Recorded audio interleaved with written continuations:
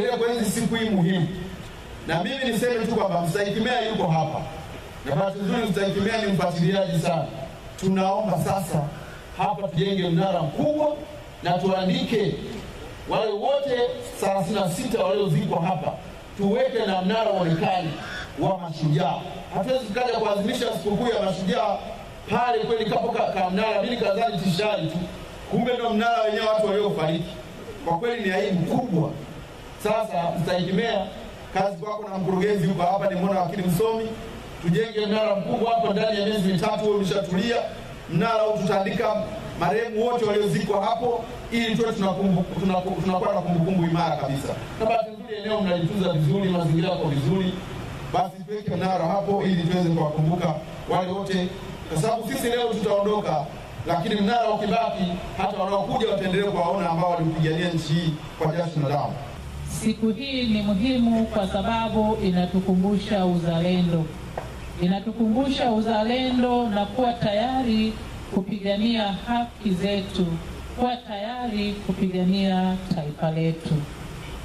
Lakini pamoja na jitihada mbalimbali ambazo Watanzania wenzetu lakini na wananchi wengine katika mataifa mengine walizifanya huko awali katika kuhakikisha kwamba uvamizi uliokuwa unafanyika katika maeneo yetu, katika nchi yetu, katika mataifa yetu, wanawaondoa wale wavamizi, basi ilibidi wapoteze maisha yao, na huo ni moyo wa kizalendo ambao wenzetu waliuonyesha.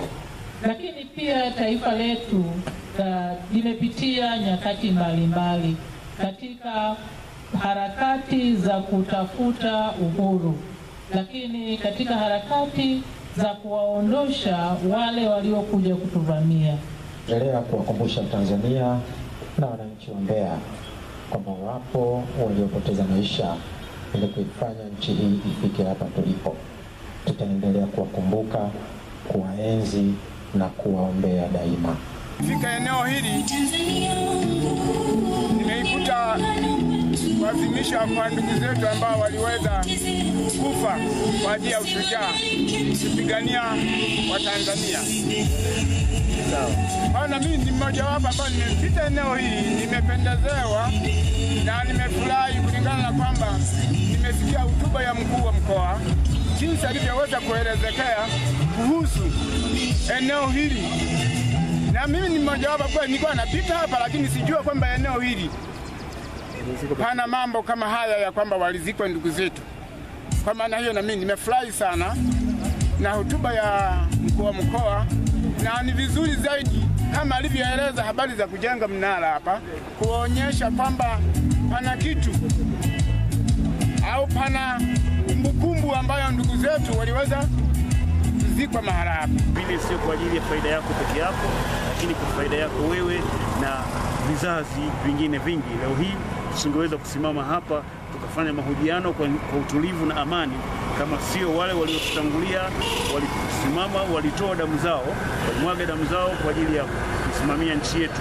Tumewashuhudia Watanzania upande wa pili wa jamhuri yetu huko Zanzibar wakisimama imara kuwaondoa masultani, walimwaga damu nyingi, lakini hatimaye Zanzibar nayo imekuwa tulivu.